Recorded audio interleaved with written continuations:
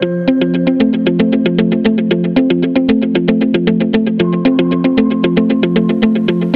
a suponer que la aceleración estamos hablando de una sola dirección.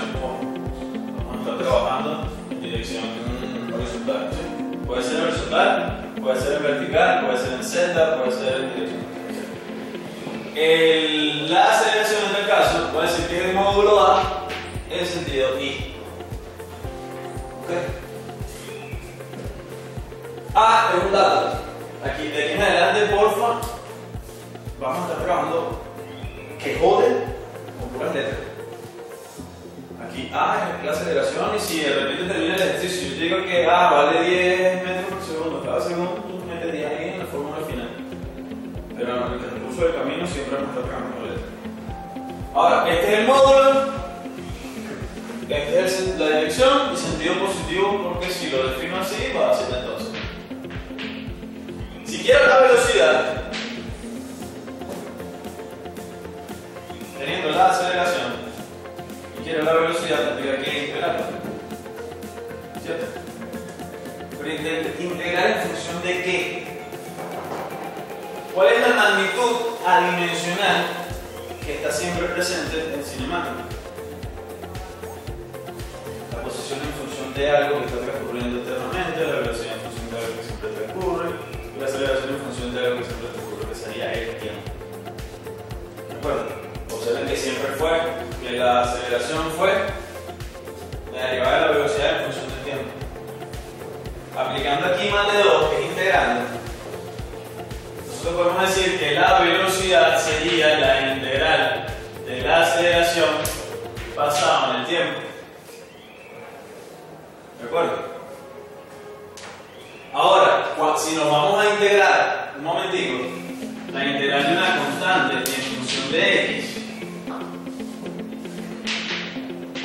el resultado es k por x. Porque si yo derivo k por x, me da k. Recuerda que yo estoy buscando qué expresión matemática derivé que me dio como resultado k. K por x en este caso. Ah, ¿cómo le contraste eso? Es que esto es como si yo tuviese k por x a la 0, pues. ¿Cierto? Porque x a la 0 es 1. Bueno, ¿qué hace uno cuando integra? Sumarle 1 al exponente. x a la 1. Y el exponente ponerlo en el denominador. Ah, el exponente 1. ¿Qué te dio? K por x. ¿Cierto? Lo mismo está pasando aquí.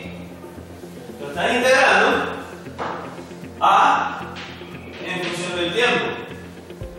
Eso es como si tuvieses la integral de a del tiempo elevado al cero de t. ¿Qué haces tú? Sumarle 1, dividir entre el exponente y te queda aquí que esto es a por t. ¿De acuerdo? ¿Qué pasa si derivo esto en función del tiempo? Si la variable es t. Si la variable es t, se va a esto y queda este valor como eso cuando integro la aceleración queda así.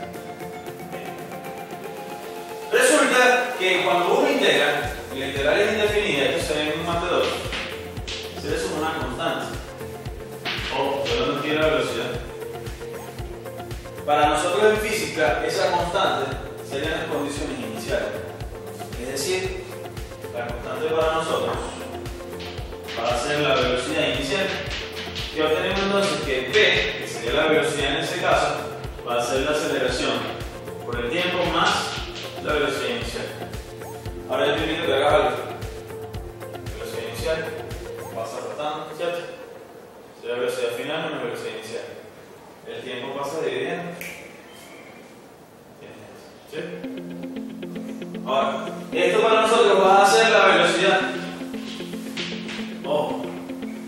Si A la definimos en un principio en dirección I, aquí si yo te digo que la velocidad entonces, vector velocidad sería aceleración tiempo más la velocidad inicial. Como esto tiene dirección I, todo esto va en dirección I también.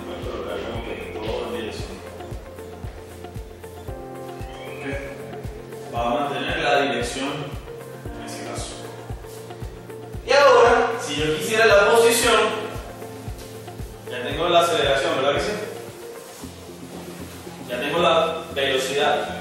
Si yo quiero la posición y tengo la velocidad de aquí para arriba, íntegro.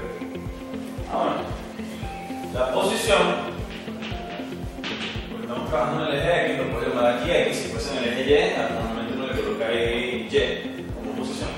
Sería la integral de la velocidad en función del tiempo. Bueno, aquí si quieres podemos colocarle aquí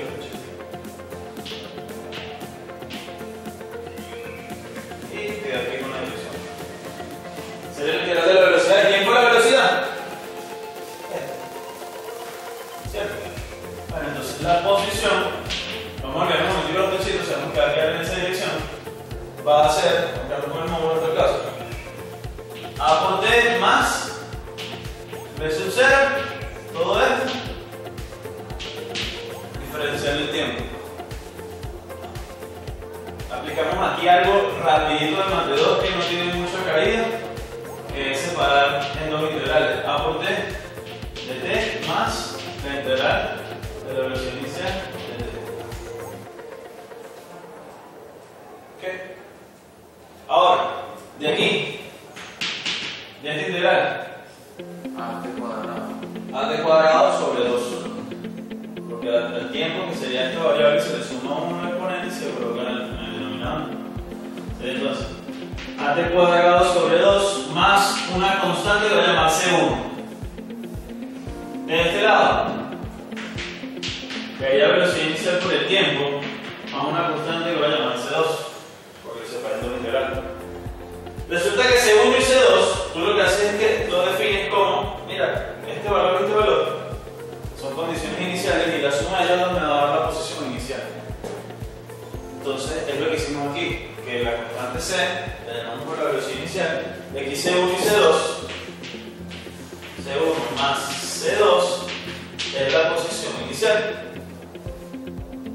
Y ordenando un poquito, este dejándolo de primero, este dejándolo de último, etc. Vamos a ver qué, qué ecuación nos queda, ¿verdad? Eso ya un eso sí me interesa. Vamos a ver qué posición nos queda. ¿Qué ecuación, perdón? Nos queda que la posición va a ser igual. Primero voy a dejar el resultado de C1 más C2, ¿ok? Es la posición inicial. Sería x0. ¿Más quién? Más la velocidad inicial por el tiempo, más la aceleración por el tiempo al cuadrado sobre 2. Todo eso en dirección y. Es cuestión de cerrar aquí todo con corchete y en dirección y Esto no se parece. La distancia es igual a la distancia inicial más la velocidad inicial por el tiempo propio más la aceleración por el tiempo cuadrado que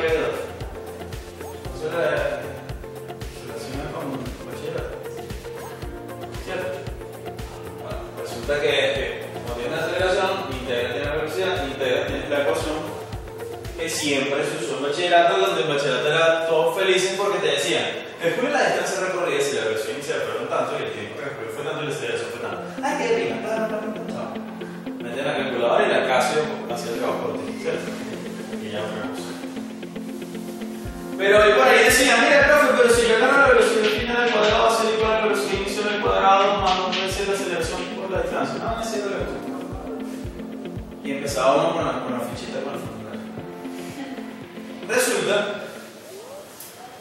Que si yo quisiera conseguir la ecuación de la velocidad que tenga que ver con la aceleración y la distancia, pero no me interesa el tiempo, ¿dónde la dejé? Por aquí. Tú puedes decir que el tiempo es igual a esta menos esta entre A. ¿Cierto o falso? Y aquí, tú puedes decir, mira, el tiempo es igual a la velocidad final menos la velocidad inicial entre la aceleración. Si el tiempo es igual a esta cosa, tú dices, bueno, déjame colocar esto aquí esto aquí un momento.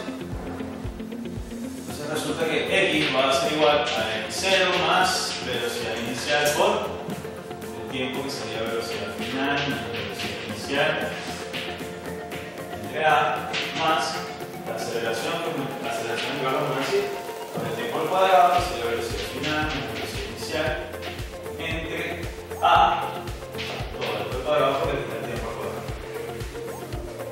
Tú puedes sin ningún problema de aquí hacer un trabajo matemático de esto. Este quedaría aquí en el numerador, ya dijimos, nos meto todo lo al cuadrado, entre A al cuadrado, que cancelando con esto, te quedaría solo entre A.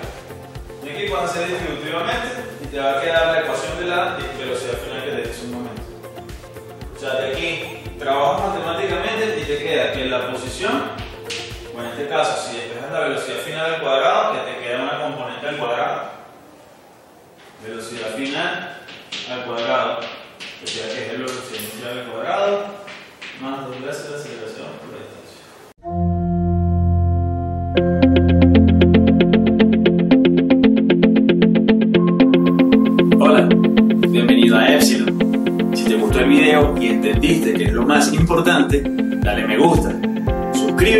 y compártelo con tus amigos. La idea de este canal es que siempre encuentres la respuesta a la pregunta que todos nos hacemos cuando estudiamos. ¿Para qué me sirve esto? En este canal la vas a encontrar.